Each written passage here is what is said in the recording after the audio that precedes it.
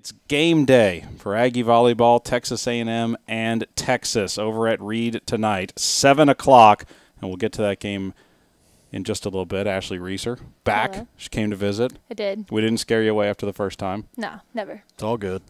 She says never, but she, she hasn't had full experience of the show yet. Any uh, trouble getting teammates uh, once they've heard about this? No, they're all pretty willing. Everybody's right, good. Guys? Yeah. Yeah, you get uh, you get the honor of Yeah, you introducing get to the introduce uh, your teammate. the True. tens and tens of people Yeah. listening to uh, who you brought with you today. Yeah. I did. So- this is uh, Gabby Litwin. She's from Allen. Mhm. She's a super senior, and she's on the volleyball team. Do you guys get the Dallas, Houston, San Antonio rivalries going on your uh, on your team a little bit?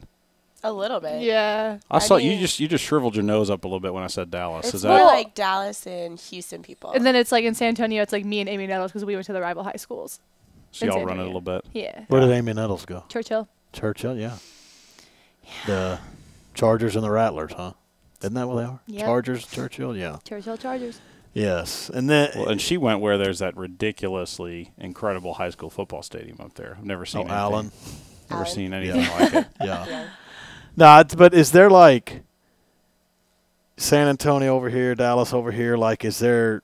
Do you root for the Spurs and do you root for the Mavericks? And does Yes. that go on amongst the teams? Spurs. Stuff like yeah. Spurs. I mean, it's hard to be a Mavericks fan, but gotta stay true to my roots. But we both like the Cowboys. I was gonna say a lot of We people from like San Antonio Cowboys. like the Dallas Cowboys. do. Okay, so you guys can come together on some things, but yeah. but I mean I know people from San Antonio they get pretty rabid about the Spurs. They do. yeah. It it that's Ashley intense stuff. me and Amy, Yeah. both of us. Me and Amy, Amy are very San Antonio prided people. Okay. So But that's Yeah. what they've got to be proud for from a professional standpoint. that's all we got. It's the Spurs. Yeah, what Well, are you we gonna do have, if like, like the the San Antonio ever re- acquires like an NFL team? You know, and the Spurs have to split time with somebody. See, I don't know. How I, I think about that I think San Antonio likes it that way. I I think, think, they just like their Spurs, Yeah. and Because then if, People they, if you get a have their- football team, you have to compete with Jerry Jones for the Cowboys, and then Yeah. Which won't happen. they, yeah, and no one competes with Jerry, so yeah. yeah. it on And we like the Spurs, and then we have like the Rampage, our hockey team, but like I don't know. There's a WNBA team, It's and the Silver, Stars. Yeah, Yeah. It's going to be Spurs all the way. Yeah. It just is what it is. yeah. It is what it is. Uh, speaking of rivalry, though, tonight, 7 o'clock at Reed, for the first time in six years, the Longhorns are coming to College Station. Ashlie is a senior on this team and a veteran. I know you all have met Texas multiple times since joining the SEC, but it's been in the postseason, and you got to play last year in the regular season in Austin. How much fun is it for you, especially growing up in this state, to have these guys back at Reed in front of the 12th man? Yeah, it's gonna be so fun because, like you said, in front of the 12th man, the past couple times we played them, we've played at Texas, especially my uh, three years being here.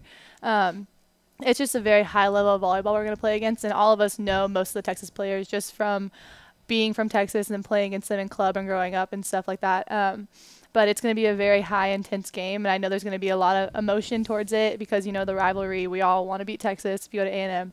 Um, but yeah, it's fun and it's going to be cool seeing uh, all the fans that come out. I know a lot of club teams want to come because it's you don't really get to see us play each other very much. Uh, Gabby, for you, I know uh, we've had our fair share of some really nice student crowds at Reed Arena over the years. I got to think that it's probably not going to be anything like we'll see tonight as the Horns come to town. How excited are you to?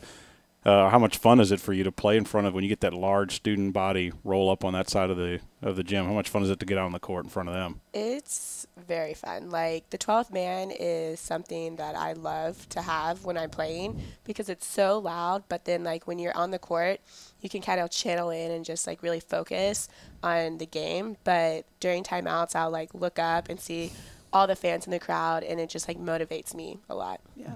we, we kind of were in awe of the schedule, the non-conference schedule you guys put together before the season. Mm-hmm. Well, now you're kind of in the midst of it. We- We've seen you play the Penn State, Stanfords, and Wisconsins, and now it's Texas. I mean, do you like this because it's almost extra focus all the time, knowing this competition that you're going up against? Yeah, I mean, I think I think Gabby can agree with me. We, we really wouldn't want it any other way. Yeah. We mm-hmm. want to play the top programs. We want to, you know, show the world that uh, Texas A&M is a volleyball school. We can compete with the Penn States, the Stanfords, the Wisconsins.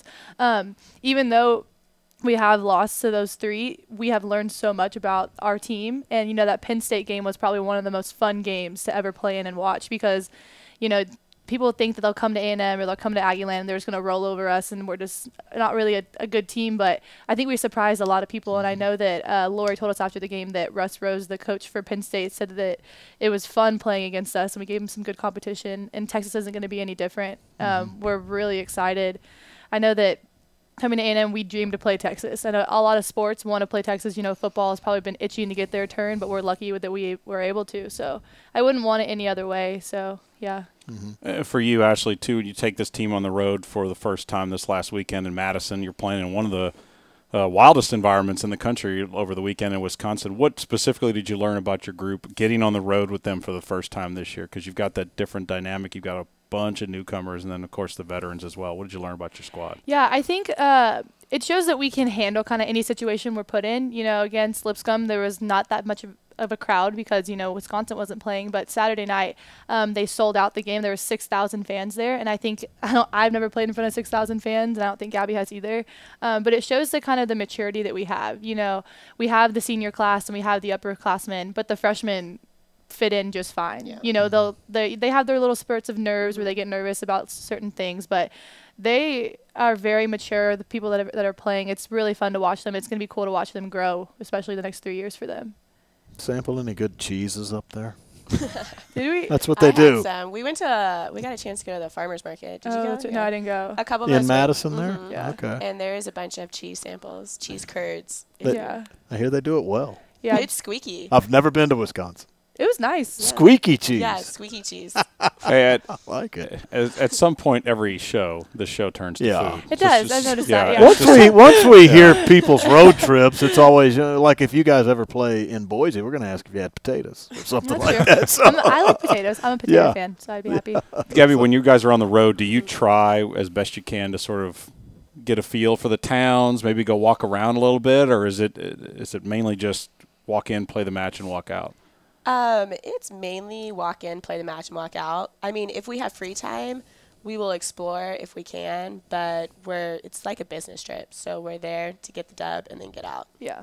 How do you guys work this on the road? Do you got to pick your own roommates? Do the coaches assign them, or the do you? Yeah, coaches assign who who you're with. Do you go different on different trips, or you usually got the same one? Different. Different, yeah. Mm-hmm. Mm-hmm. Just so you can kind of get a few. Sometimes you're what, put with people that you don't really know that much about, so it gives you the opportunity to get to know them better. So. Do you make the freshmen carry your bag to the room? no. No, we no. should. Have you thought we about should. it? That's a good idea. That's a good idea. okay. That's a great idea. Okay. Get on this. Yeah. yeah. Speaking of freshmen, uh, your first collegiate year, uh, Gabby, was at Mississippi State yes. in the SEC, and we've been to Starkville a few times since uh, joining this league, and I always thought it was a very pretty campus. It is. You know, I mean, just your thoughts on staying in the SEC when you make the transfer here, and what did you like about that trip in the SEC your first year over in Starkville? Um, Starkville was a great opportunity. Um, the reason why I did transfer is because I wanted to be on another level of volleyball mm-hmm. and competition, and mm-hmm. I didn't see that happening in Starkville. Mm-hmm. But it was a great school academically, and it was beautiful. It was a mm-hmm. little small for me, yeah. The only thing I had was Walmart, but, but well, you fixed and we've got like two, here. two or yeah. three of those yeah. in this area. yeah. I, I, always thought that A&M was a bigger Starkville for me. Yeah, so. that's kind of accurate. Yeah. Yeah, but I, I, mean, I've been there for football games, and football team stays outside of a town. They're mm-hmm. never if if they play in Starkville, they don't stay in Starkville. So you basically kind of like the get in, get out thing. You just bust to the stadium, play the game, and get out. But I've always thought the campus there was so pretty it was when so you bust pretty, through yeah. it and, and things like that. So, but a good place. But glad you're here now. yeah, we are too. We are too. Yeah. It worked out. Uh, Seven o'clock, folks, tonight, Texas. The Longhorns come into Reed Arena. It is fish camp night. Uh, of course, students with a student with a sports pass, you get in free. If for some reason you're a fish camper, you do not have a sports pass, then you come in. It's just three dollars. But fish camp night, we expect a very large student crowd. It should be a whole heck of a lot of fun. And Ashlie, looking ahead just a little bit mm-hmm. after we've talked about this brutal stretch of the schedule, you guys have a weekend off, which yeah. is very rare. Mm-hmm. Are you excited about uh, being a normal college student for a few days? You going to go to the football game? Yeah, we um, that is super exciting. You know, we get to go to some games. We don't kind of get to experience the whole thing. You know, the tailgating and just hanging out with friends and just having fun. But yeah, we we get a weekend off, and I think honestly, after the schedule, we probably need it. Just kind of rest Yeah. our bodies a little bit, and then we don't play until next Friday. So Mm-hmm. we'll have a good couple of days, good couple of strong practices before we open up with LSU at LSU. Um, but yeah, I think we're definitely going to take advantage of the opportunity just to kind of be lazy a little bit and lay in bed. So At LSU, Will, and if you want to go and help them find some good restaurants. yeah, come to Baton Rouge with Don't us. take him with you. He'll start throwing things. At the I've got my Tiger list of food. I grew yeah. up down there, so it's, Yeah. I want to go to Cafe Du Monde. Never been.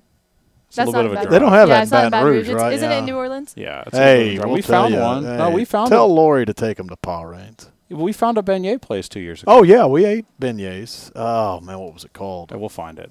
We'll It was Let us close know. to, it was close to the hotel. It was a short Figure it out. walk. It was Okay. a short walk. Cool. Well, guys, Texas tonight, pretty fun. Yeah. Best of luck. Thank you. Thank you. It'll be pretty fun. It's gonna really looking forward to it.